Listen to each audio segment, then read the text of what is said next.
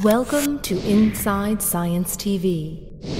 With just an idea and a few dollars, a young undergrad student came up with a life changing invention. It was just $15 worth of material I found at the hardware store. I was able to make a prosthetic hand. This unique design can be created cheaply with a 3D printer from a scan of an amputee's functioning hand. It's purely mechanical, has no electronic parts, and offers patients more mobility. With my prosthetic, essentially you're able to pick up heavier objects, like say a, a milk gallon, um, but at the same time pick up um, fragile objects. Say you wanted to pick up an egg without cracking it. Traditional prosthetic hands are either expensive or limited in design. This hand is more similar to a real hand and allows users to close and open each finger using a pulley system. When I extend my arm outwards, the pulleys inside the prosthetic are pulling downwards and it closes the hand. Inside the hand are cables connected to each finger. As the arm extends, it uses tensile force, stretching the cables back and forth along its length and allowing the fingers to open and close.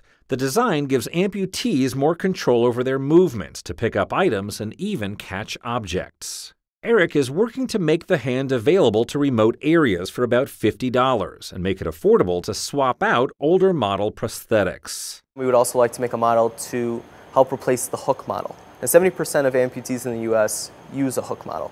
Mechanical engineering gives a helping hand to those in need. I'm Josh Lebowitz reporting.